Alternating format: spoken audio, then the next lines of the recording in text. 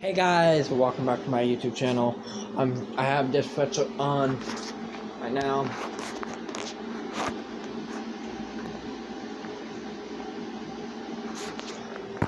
Yeah, I have this sweatshirt on because I'm freezing, freezing, freezing, freezing, freezing, freezing cold. It kind of it's freezing cold in my room. So last night, last night, eh, at almost 1 a.m. in the morning. So I better get off of here.